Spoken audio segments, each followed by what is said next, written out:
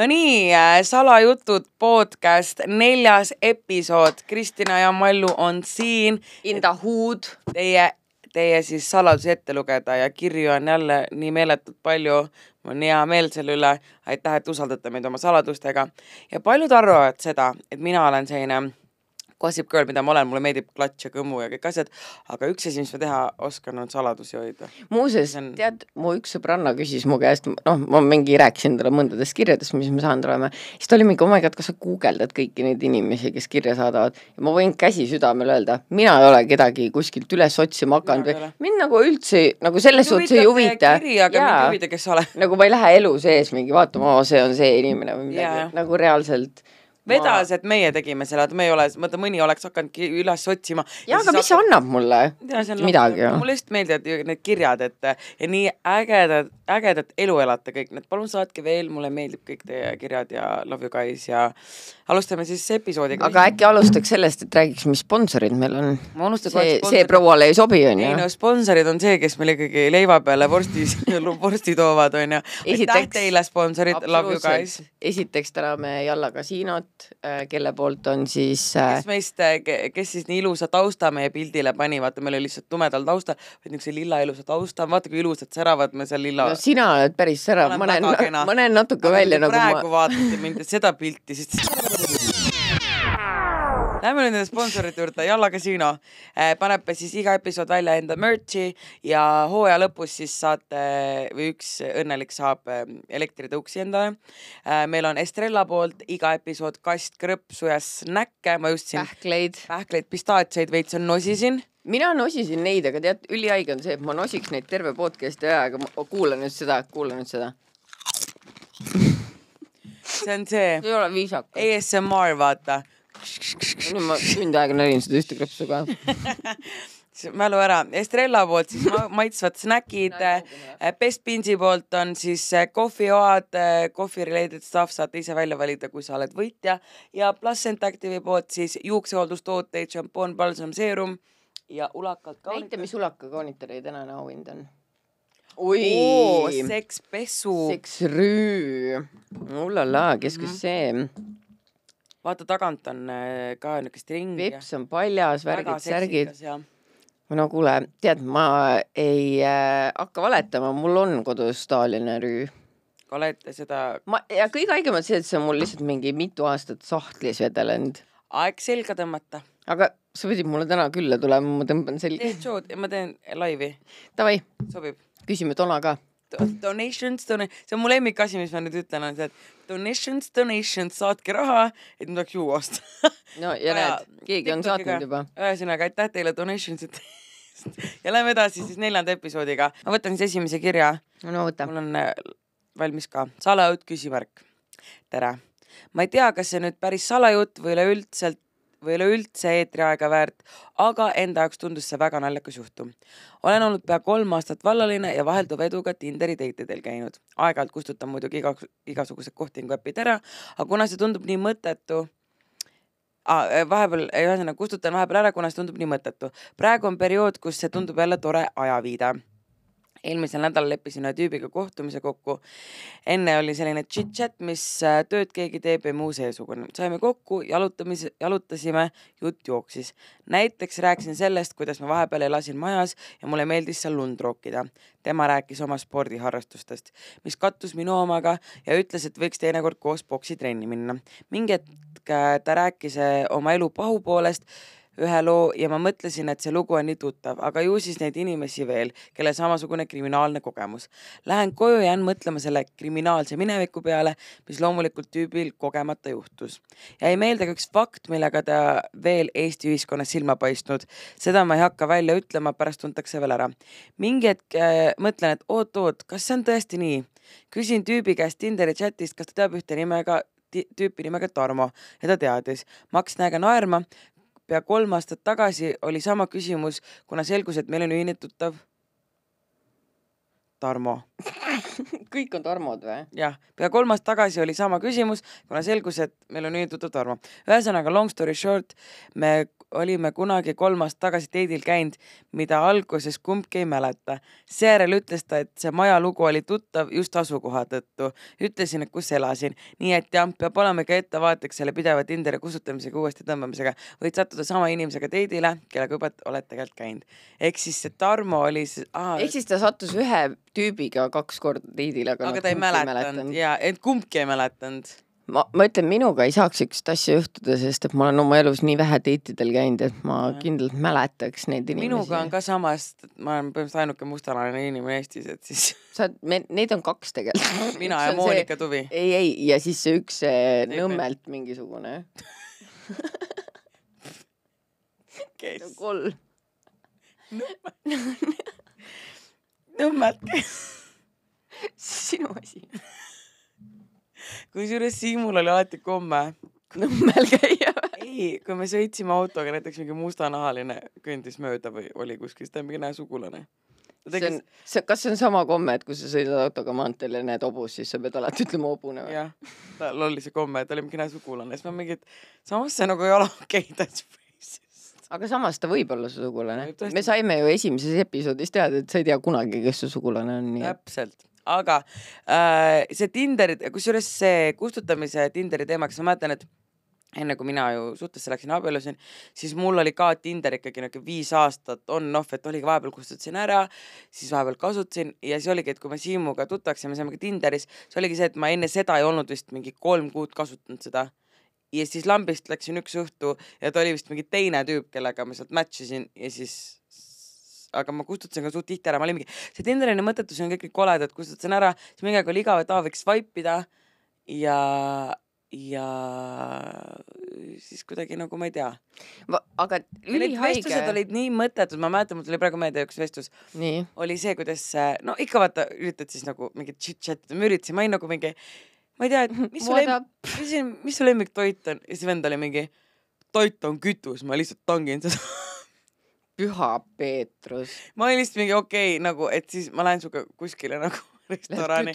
ei, lähen vennaga restorani, siis ta on mingi äh,, jõu, et tooge mingi klopp sealt tagant. tooge mingi plõga, mul on pohhu ja see on kütus. ma no. tahan tankida ennast et selles suhtes, et see ei ole, ma sain aru, et see ei ole nagu inimene, nagu nii raske on võib-olla, et noh, et ma üritasin kogu aeg hästi nagu jutukas olla, juttu rääkida, mõne vennaga nagu ei läinud üldse vedama, vaid rääkis nagu nii mõttetut juttu, siis ma olingi, mida ma teen siin ja siis kustutasin ära tõmbasin tagasi, et seda on, oli mul ka, et see on hästi nagu, ma arvan. tead, ma olen äh, elus väga vähe saanud Tinder, tinderdada, sellepärast et. väga ma... vähe saanud otsib püksid endale, siis tuleb helisema, aga kakelda, ma olen sinust ennast kaks korda suurem, ma väänan su nii kiirelt ära. no sa ei pea isegi väänama, ma kukun ise ära hakka vaeva nägema. aga ühesõnaga, ma olen väga vähe tinderdanud, sest et kui ma lahutasin, siis ähm, selle e-, eelmise Peikaga ma tutvusin Tinderis onju mm. ja ma kustutasin siis suht kohe Tinderi ära ka, vaata, kui me tutvusime. ja kui me lahku läksime, ma ei, mingitel hetkedel, no me läksime mingi üheksakümmend seitse korda lahku, selles suhtes, et mingi periood ma vist kor küll korraks tõmbasin Tinderi mm., aga minu jaoks jääb see miinuspooleks see, et inimesed on mingi, kutid on mingi, sa päriselt see mallokas või, ma mingi aga kas sinust Joo. ei tehtud artiklit, kui sa Tinderis olid või? vist tehti küll, kui ma esimest korda minu jaoks on nagu see, et ma nagu kind of tahaks Tinderit tõmmata. ja, aga see on nii haige, kui inimene, uudistes on mingi kuradi elu kakskümmend neli on mingi joo mul on Tinderit. ja sellepärast ma ei, ma ei tee, kas ma mäletan, kui Robin Valting kunagi tegi ka, siis äh, temast oli nagu suur ja, ja siis mul oligi nagu see, et ma nagu ei taha seda ja siis ongi, ma arvan, et mul on ka sama, et aa, kas sa oled päriselt Kristina või nagu saad, noh, et ühesõnaga ma ei tunne, et seal oleks lõbus swipe ida, aga ja, ma ei saaks seda teha. eriti lõbus oleks siis, kui sa oleksidki nagu nii-öelda mingi tundmatu mm -hmm. inimene, vaata. mu sõbranna, kes just lahutas, tema ütles ka, et ta tegi Tinderi ja seal paari inimesega chatib ja siis ma olin nagu veits kade, et ta saab nagu seda teha, sest mina ei saa seda, sest ma olen ju nii kuulus inimene, nii raske on. sa oled nii kuulus, mul on isegi raske su kõrval olla, sest sa oled nii kuulus. ma tean jah aga ei, minu meelest Tinder on tore koht ja ülihaige on see, et ma tegelikult tean väga paljusid inimesi, kes on Tinderis tutvunudki oma abikaasadega ja neil on kõik väga hästi, onju. aga ma ütlen, need põgusad korrad, kui ma olen seal olnud, siis ähm, no vaata, mis see mulle tõi. kaks pool aastat selle tondiga onju, halloo, siuksed vennad. ilakas. et nagu ma ei tea, see ei olnud ma väärt. ise mõtlen ka, et ma juba olin Tinderis.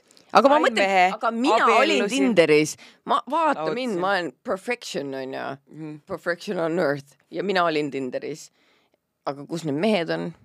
see küll aga miks ma ronin sinna Tinderi? tead, ma ronin tõesti. vana viisi, et jookseme kogemata kokku ja siis on, siis meie Mhm. pilgud kohtuvad, mu telefon kukub, ta ütleb selle üles korjata. jah, toidupoes võtate õuna koos ja käed vahetame numbri. Ja siis te suudlete kirglikult ja siis ta palub su kätt. täpselt, aga ma ei taha abielluda. ei no aga pead, sest Okei. ta on juba su kätt palunud No no oleks imelik ei öelda, hale. no see oleks nii awkward, ma ütleks jaa. okei, okei, nojah, kui ta pärast saab lahutada. põlvitab see, no davai, teeme ära. et selles suhtes, et ei, kokkulepe on siis see, ärme roni sinna Tinderisse, ega sealt midagi ei, ei, mina ei kavatsegi ronida Tinderisse, sest et eh, see on weird. Nagu see ei ole weird, selles suhtes on lõbus, aga minu usk sellesse on väike ja teiseks mul tuli meelde, et mul on peika, nii et ma nagunii ei roni sinna. igaks juhuks mainin ära. I m not there. okei okay,, võtame järgmise kirja. ma ei oska lugeda, ma tean, et sa ei ole vaatanudki raudselt midagi ma ei. ole mitte, aa, mul on eeskiri. näed, kaeb perra, ma olen ka professionaal, aga hei, palun ärge mu nime mainige, üldse ei sooviks, et keegi kuidagigi ära tunneks. Liina Sepp. nali, ta nimi ei ole Liina.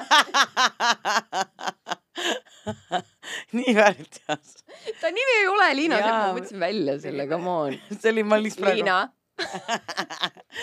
nii, Nonii, lugu siis järgmine. mul on sõbranna, kes on oma mehega koos olnud seitse aastat. Neil on kaks imearmsat last ja pereelu tundub toimivat.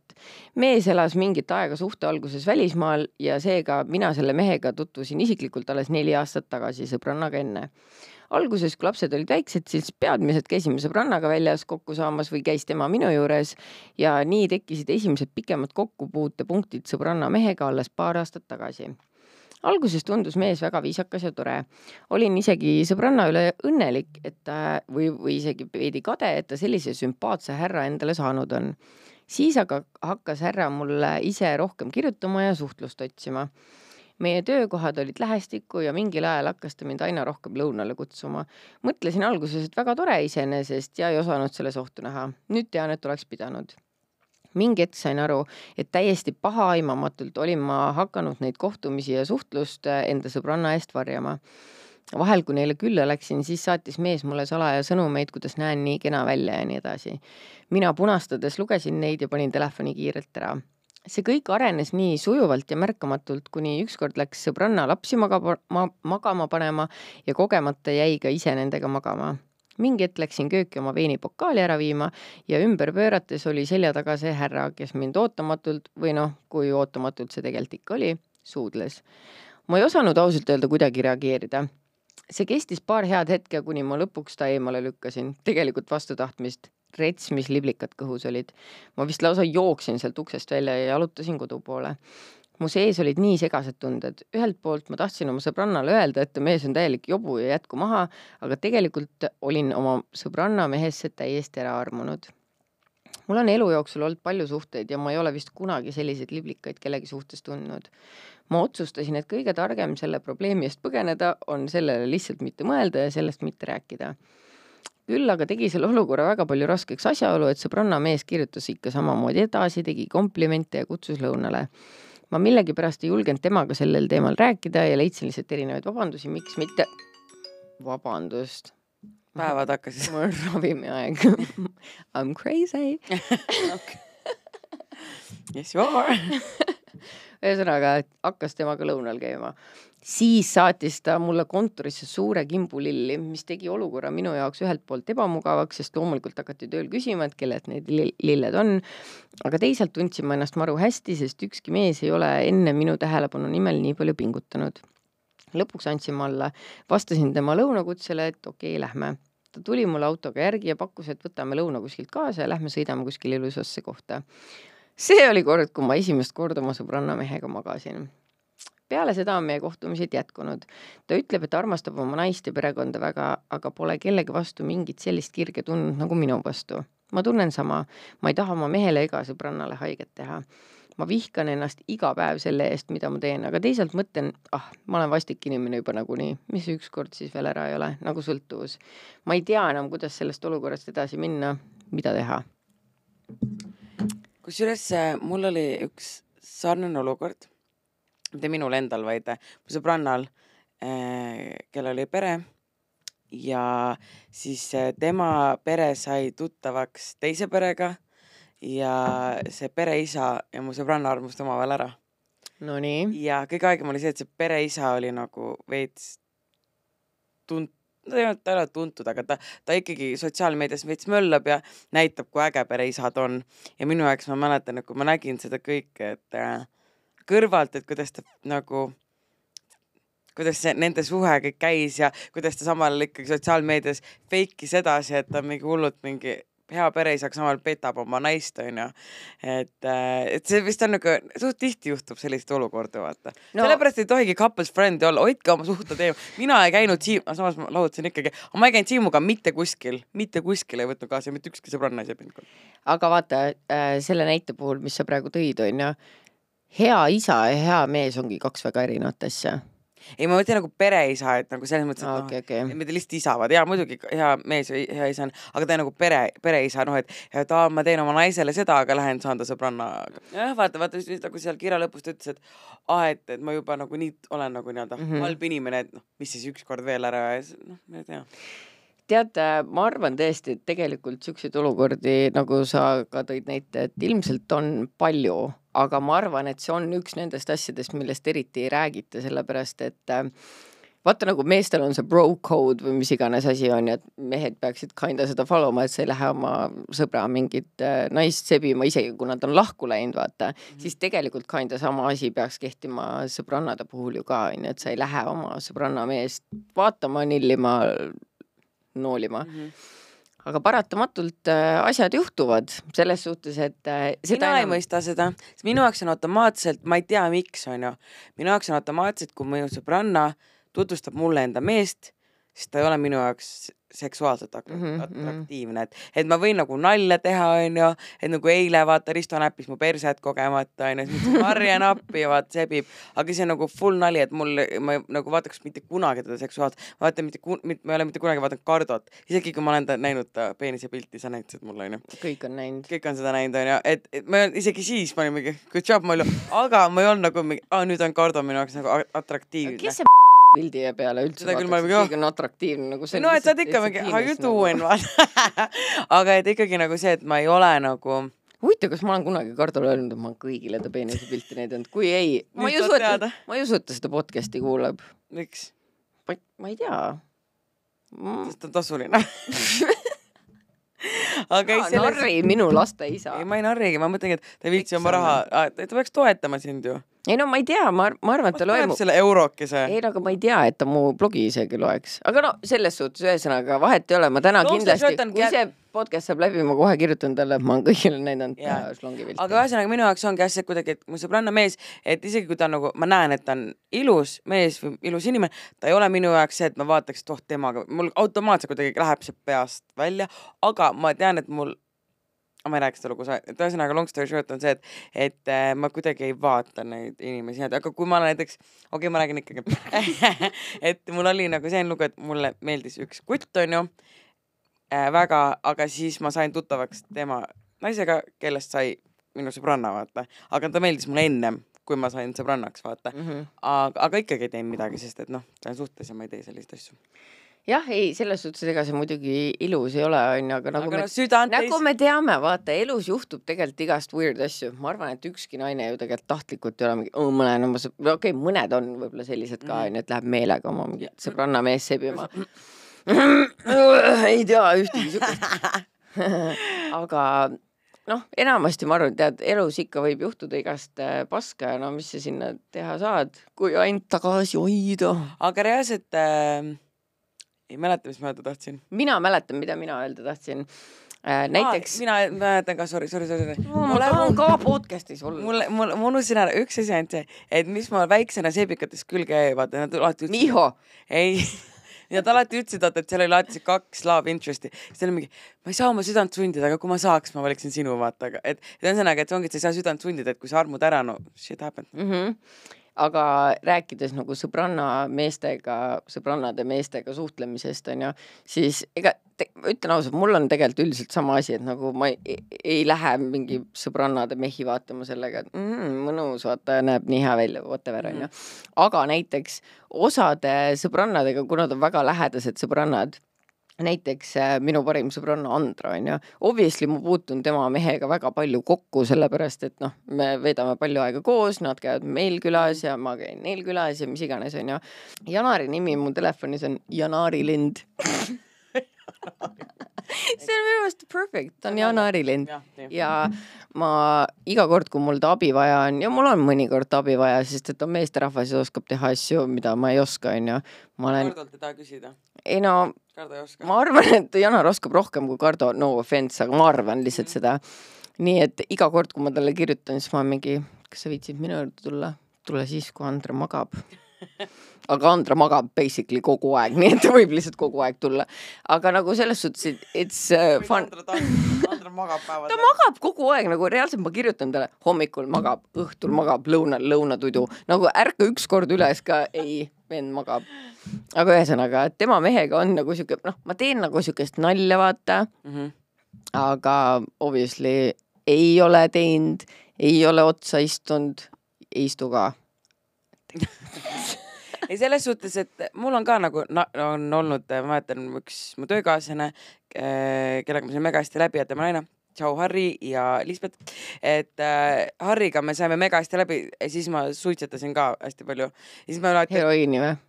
ei suitsu, what the fuck.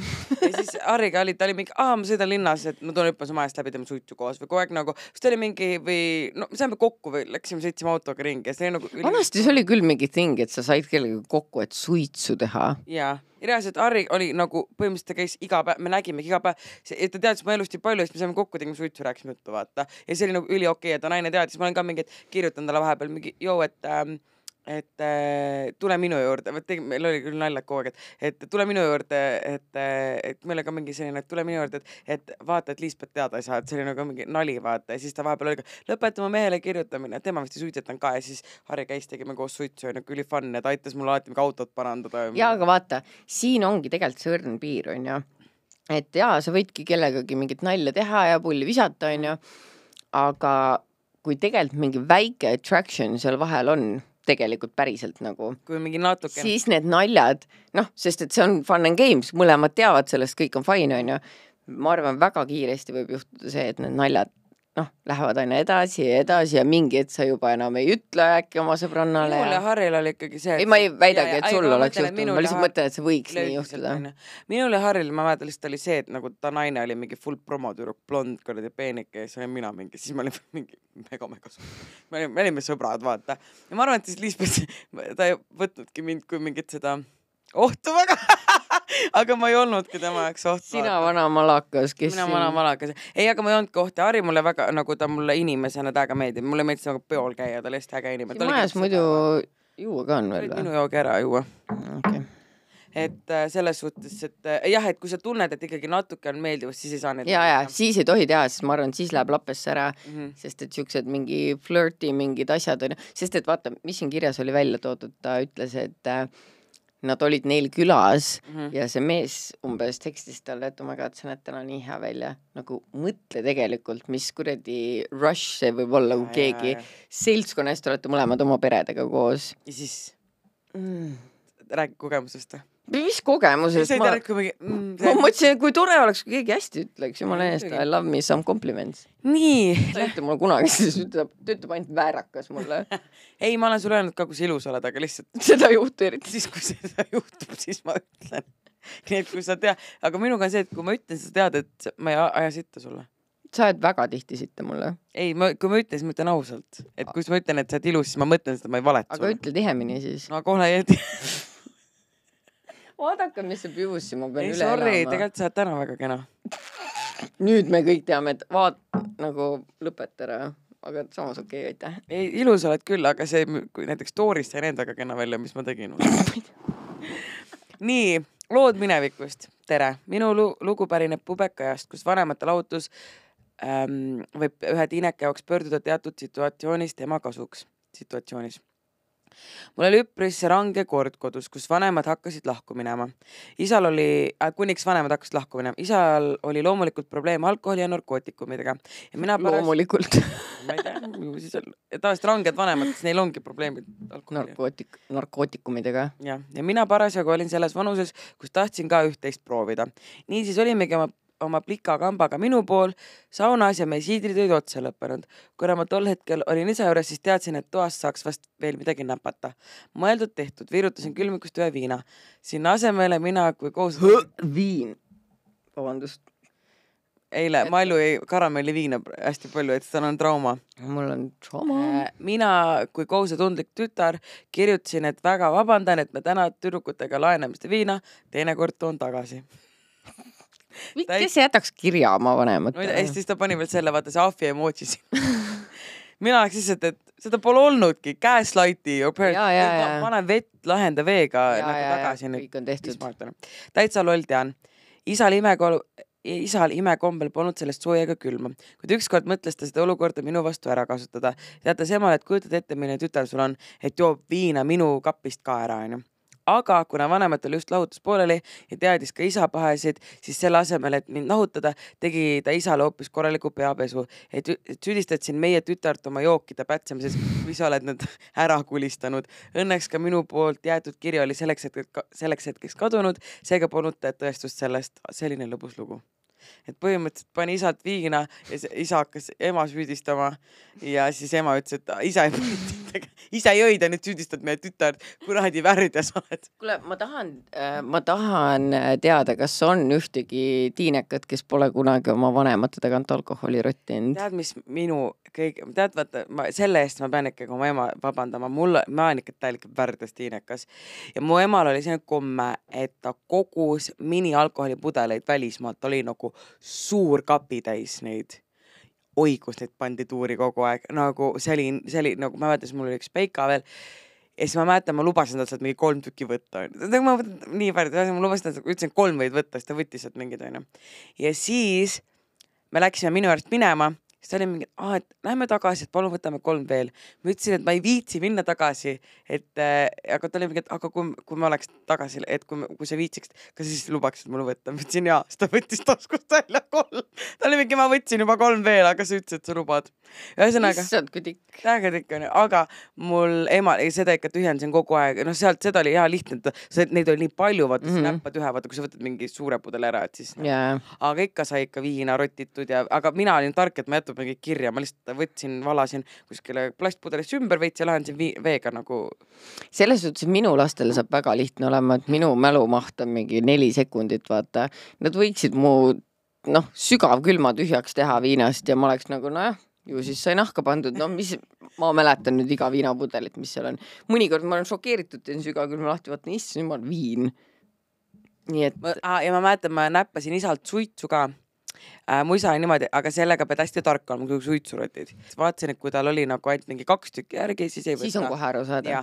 aga kui oli ka ainult üks võetud, siis ka ei võtnud. seal pidi olema niimoodi, et see pidi nagu nii-öelda kolm-neli võtta, et see on nagu veits luus. siis said kaks-kolm tükki võtta mm -hmm. ja, ja mul lõpuks mingi hetk mu isa hakkas ostma plokkide viisi suitsu. siis, läks eriti heaks elu jah? ma tegin, ma olin hästi sniiki oma arust, võtsin niimoodi, et vaata, et seal ploki kallasin välja, võtsin sealt keskelt nagu ühe ja siis panin nagu niimoodi tagasi, et, et umbes, et et nagu eest ei mm -hmm. saaks aru, et on võetud midagi. ehk siis, kui ta mingi hetk hakkas võtma, need vajusid mm -hmm. laiali, et sa ei pannud tähele, sa pead hästi tark olema.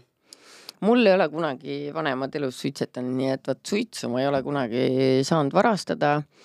aga tead, ma ütlen ausalt, ma hakkan mõtlema praegu, kas ma üldse ka nagu alkoholi otseselt varastasin, sest et äh, minu vanemad, issand, ma ei tea, kas ma tohin rääkida mu vanemast, pärast keegi on solvunud aga ei nagu mitte midagi halba selles suhtes, et mu vanemad ei olnud nagu selles suhtes mingi mega strict vaata, et ma mäletan küll, et kui ma olin tiinekas, siis ma ütlesin küll emale vaata, et mingi a la läksime peole ja ostsime siidri, me ostsime sõbrannaga kahe peale, mis see suur siider oli. ja balloon, siidrit vaata, jõime kettimiseni umbes. aga nagu mu ema ei olnud nagu otseselt, et noh, et ta ta ei kiitnud heaks, aga ta, ega ta otseselt ei keelanud ka, et ma sain talle vabalt nagu rääkida, vaata. et ei olnud seda vist, et ma oleks pidanud kuskil vargil käima. võib-olla meil ei olnud lihtsalt kodus alkoholi ka, mida niimoodi varnast võtta, vaata. aga selle ballooniga seoses nagu ma mõtlen, et kuidas tänapäeva noored üldse hakkasid, joovad niimoodi, et nad võtavad selle siidriballooni, see tundub nagu nii niisugune mingi kahe. see on nii robustne. et nad praegu juba joovad nagu fantasy kokteile pigem. ma ei usu tegelikult, ma arvan ikkagi. ja ma mõtlengi, et asi on ju raha taga. balloon siidrit on kindlasti ju odavam, kui sa ostaksid neid purke või mis iganes onju. muuseas uh, fun story, ma jah, Tiineka on obviously jõin siidrit onju ja siis läks aastaid, kus ma ei olnud nagu absoluutselt mingit siidrit, see tundus nii gross, ma jõin veini või mis iganes. ja ma alles hiljaaegu olen uuesti enda jaoks siidri avastanud, mitte küll balloone, aga tead need ähm, ma ei tea, mitte muidugi mingi maasikafits on ju, aga lihtsalt mingisugused siidrid on väga maitsvad. Ja, ja mul on paar ka... tükki külmkapis, kui täna soov, huvi on, tule küll. kusjuures minu, minu tõi siidrimaailma tagasi Marjan oma hagistega tema ja, ja mul ongi muuseas hagiseid minu meelest kodus no,, see on see siil või? ja, ja, ja, ja. ja Marjan tõi mind sellest, ma ei joonud ka aastaid siidrit, et ma jõin kas mulli, viina või mingit asja, aga siidrit ma kuidagi ei joonud ja ma tundsin, et ma ei tea, et siider. also mul on kodus kahte väga head õlut ka. müüdud, ma juba tulen sinu juurde. ei no selles suhtes ma lihtsalt räägin sulle, mida sa saad ette valmistada ah, ennast ah. vaimselt. väga head õlled on ka. müüdud. mällu mallu-mällu aga pane püksid ka jalga, kui tuled. ei pane igatahes, äh, kas me loeme veel ühe kirja ette ja siis pakime küll... pillid kotti või? jah. nii, viimane lugu, ma ütlen äh, selle äh,, selle kirja nimi on Pöörane lugu. ma lugesin seda kirja, mäletan need, et see tuli, kas see tuli õhtul hilja või et, aga mina lugesin seda igas hommikul, kui ma ärkasin, tegin sinna lahti, vaatasin, noh, meil on tulnud ja lugesin seda nii. ja ma mäletan, see jäi mulle nii kuidagi hinge et ma mõtlesin selle kirja peale terve päev ja ma olin päris õnnetu, nii et ära siin lollita, sest et see on natuke tõsisem kiri. nüüd, nüüd kui sa ütled, et ära lollita, siis ma tahan kohe lollitada ja sa tead mind küll okay.. miks sa teed mulle nii? nii. tere, Krissu ja Mallu. ma kohe ei teagi, kust ja kuidas seda juttu nüüd alustada, aga mul on üks ajuvaba lugu, mis hetkel enam ise ka aru ei saa, kuidas ma nii loll olin ja rumal olin. ühesõnaga, minu vanemad ei ela koos sellest ajast saati, kui ma olin kuueaastane.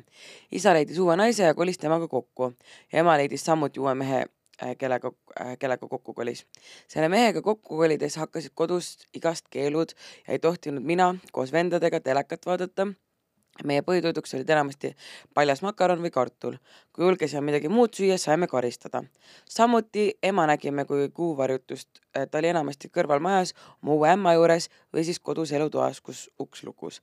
tänaseks tean, et see oli mehe manipula-, manipulatsioon, mitte ema vaba tahe.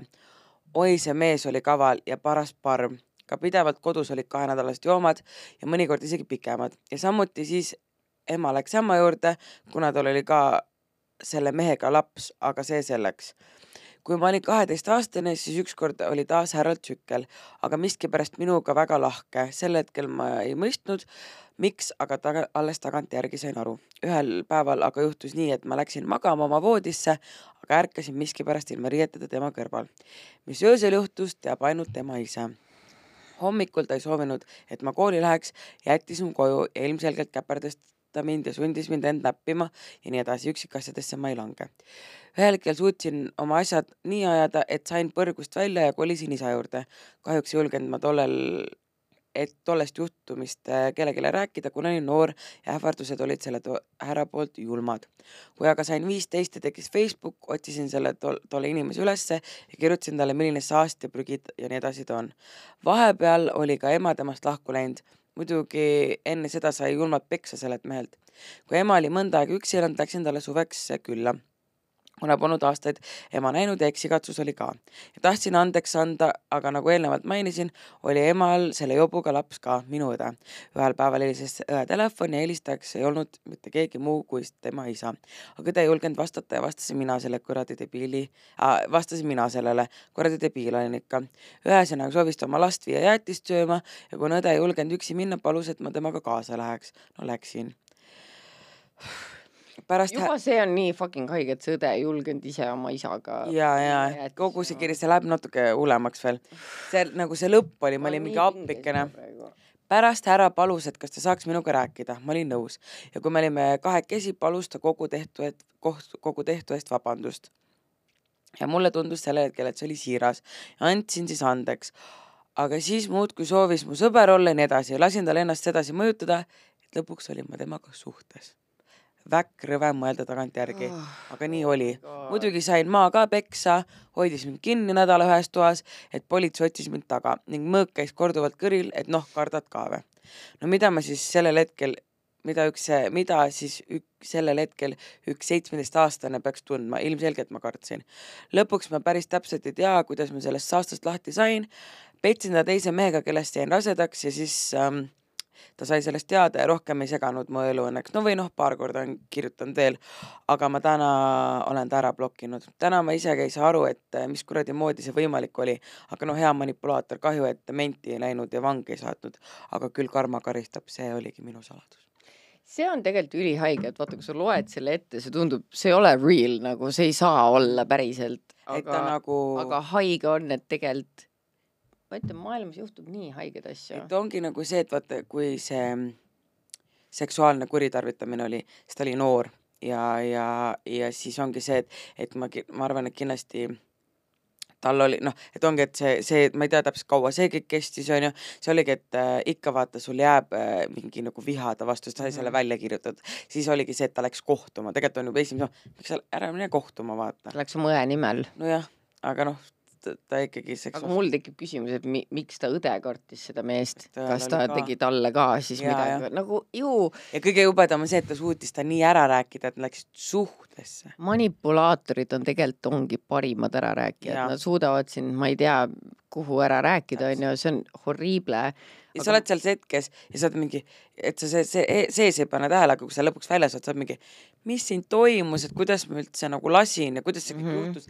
et see on nagu päris. mul on hea meel, et see inimene on sellest välja saanud ja ilmselgelt ta on oma eluga nii palju edasi liikunud, et ta suudab vähemalt sellest rääkida mm. -hmm. aga ma arvan jällegist, et see on sihuke asi, mida ma ei kujuta ette, kas ma suudaks sõbrannadele rääkida, vaata, et sa ja. oled mingi kui keegi kasvatab sind kui oma isa, siis ta on ikkagi su isa figuur, vaata, et see ei mm. ole lihtsalt suvaline ema peika või mis iganes onju, mis on ka juba imelik, aga ikkagi, et nagu sina oled väike laps ja sina võtad teda isana mm. -hmm. et nagu oh, see on nii, see on nii gross mu jaoks. ma olen reaalselt, ma olen väga selles suhtes tolerantne inimene, ma, ma saan aru väga paljudest asjadest, aga see on lihtsalt mu jaoks nagu äh, ma tahaks nutma hakata, sest see on nii fucking gross teema. mul oli nii kurb ja mõtlesingi just see, et kõik see suhtesse minemine, ehk siis ma arvan, et et siis sa nagu jälle nagu seksisid selle inimesega, kõik see, et ma nagu mõtlesin ja aga vaata, võib-olla see on, äkki see on mingi psühholoogiline värk, vaata, et kui sa tead, et see on enne juhtunud nii-öelda kinda vastu sinu tahtmist, on ju, siis võib-olla noh, ega ta oli ju, et ta oli niigi ju tegelikult väike laps, vaata mm., kui see toimus, jah, ta oli paar aastat vanem, aga ega seitsmeteistaastane ei ole ju täiskasvanud mm, -hmm. see on laps, on ju et äh, võib-olla ta üritas seda enda peas nagu tõlgendada, et näed, tegelikult me olemegi meant to be, vaata, tegelikult see on mm. fine, et see enne juhtus, vaata, et võib-olla see on mingi aju mingi coping mekanism, ma ei kujuta ette, aga nagu mul on nii kurb mõelda, et maailmas on nii palju inimesi, kes niisugust asja nagu läbi elavad. ja mul tuleb sellega meelde, et keegi jättis mulle äh, blogis kommentaari äh, vist oligi siis, kui ma rääkisin, vaata, et mul on uus peika, onju, mm. ja keegi jättis siukse kommentaari, et, et kui mina lahutaksin oma abikaasast, mul on ka lapsed, onju, siis ma ei võtaks kunagi endale uut meest, sellepärast et nii paljud inimesed, ta töötab siis kuskil sotsiaaltööalal või midagi, nii paljud inimesed kannatavad seksuaalkuritegude käes, et ma ei julgeks elu sees oma tütart jätta mingi võõra mehega nagu üksi koju. mis nagu ma ütlen ausalt, kui ma esimene kord seda lugesin, ma olin mingi oh my god, et nagu noh, selles suhtes ei saa kõike maailmas karta, onju. aga teisest küljest täiesti kinda nagu mõistan seda, sellepärast et eriti kui sul on mingid nii väiksed lapsed, vaata, kes ei oska rääkida yeah. ja no, ja tegelikult ta oli ju suur. sa ei rääkida, oska tegelikult, sa ei oska seda sõnastada. ikka ähvardab, et aa, ma tapan su mingi vanema ära või. jaa, aga tead, ma olen aru saanud, et nad võib-olla tihtipeale ei peagi ähvardama, selles suhtes, et kui see laps on piisavalt äh, noor, et ta ei saa võib-olla aru täpselt, mis Mm. toimub, vaata. et see, kuidas see inimene talle sõnastab, mis parasjagu toimub, ongi see tema arusaam sellest, mis toimub, talle ei pruugi see meeldida, aga ta nagu, ta ei tea ju tegelikult, mis see on, on ja, ju. ja mis mina olen näinud, ma, mul on Tiktokist on hästi palju videosi, kuidas, no mitte hästi palju, vaid on tulnud videosi, kuidas inimesed nagu räägivad oma traumast. keegi ütles, et tema üks suurimaid, suurimaid nagu häbiasju oli see, et ta käis seal unis seksi oma isalt, sest et talle meeldis see, noh, see oli tema jaoks mäng. aa, ma olen näinud Tiktokis ja et seda see ei olnud nagu, et ongi see, et sa mõtled, sina mõtled, oh my god, et nii rõve, et ta teeb oma lapsele, lapsel on vastik rõve. Aga ta ütles, et ei, et mulle, ma nautisin seda, see oli nagu. jaa, sest et ta ei teadnud ju, ta ei saanud isegi aru, mis toimub ja selles suhtes, talle meeldis see jah. mäng, vaata, siis ta ütleski, et, et nüüd, kui ta täiskasvanud, et tal on nagu nii raske mõelda, et, et ta käis seal unis oma isalt ja, seksi, et ja lähme mängime, vaata. iseennast, vaata, et ma ju ise ise tahtsin, tahtsin on ju. täpselt, et, et neid lugusid nagu, et see on nii kurb ja nii ja mul on ka alati see, et suur hirm, et oh my god, seda juhtubki, et, et ongi konud, tädid ja mingi mm. -hmm. ongi, et emad ja peikad, et ma ei julgekski nagu kela neid kuskil jätta, vaata, et saab veel. aga tead, kõige haigem on see, et emade peikad emade peikadeks, aga kõige suurem protsent äh, siukest äh, kuritarvitamist toimub siiski oma sugulussidemete Jaa, vahel, et su enda perekonnast võiks, võib keegi seda teha. ma Oprah'st nägin, et isegi emad on oma poegi ja lapsi, et nagu see on ka veel, see on nii jube, et Oh ühesõnaga see on hästi. ma tunnen, et ma ei ole equipped nagu sellest teemast rääkima, sest ma tean, et ma ei ole nagu ma ei, ma ei tea täpselt, mis on need õiged asjad, mida öelda, aga see on lihtsalt, see on nii gross teema. aga mida ma olen teinud äh, oma tütardega mm. -hmm. on nagu see, et ähm, ma olen neile rääkinud, et keegi ei tohi sinu keha katsuda nii nagu, kui, kui sulle see ei meeldi, vaata, et noh, mingid piirkonnad on nagu privaatpiirkonnad ja nii see nagu võiks olla, onju. ja kui keegi tahab sinna asja teha, siis ei ole, sinna ei ole asja, vaata jaa, aga see on backfire inud, sest et esiteks Marta Lansavi vend käib aias sital, palja persega. me elame kortermajas nagu, ei, kas teid huvitab, ei, tal on suva, onju. ja siis üks päev äh, Martal oli, ta suutis kuskilt, ma ei tea, Kardo juurest vist toovad vahepeal mingi reaalselt nii väikseid riideid kaasa, et no ma ei saa aru, kuidas need üldse eksisteerivad.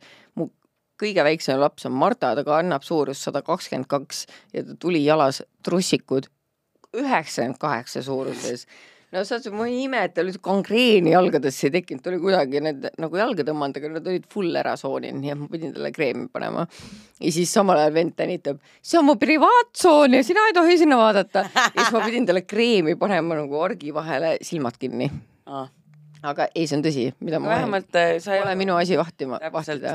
igatahes see oli siis selline kiri ja, ja see, ma arvan, et nagu niuke jäi hinge veits natuke pidid sa mulle seda ette lugemas, nüüd see on mul nii hingel, ma tahaks, ma ei tea, mul on nii kurb, ma ei, paneme pillid kotti. paneme pilli, jagame kingitusi, mul on nüüd see, et ma tahaks kõik need sellele viimasele kirjale anda, et you deserve everything, et nagu sa oled nii palju kannatanud mm., et ma tahaks talle anda anname talle kohvi, ja krõpsu, anname kohvi ja krõpsu talle annan. talle kohvi ja krõpsu äh,. snäkkida vähemalt, issand, see kõlab nii halvasti, ma saan snäkkida vähemalt. ma ei tea, kohvi ja krõpsu, anname kohvi ja krõpsu.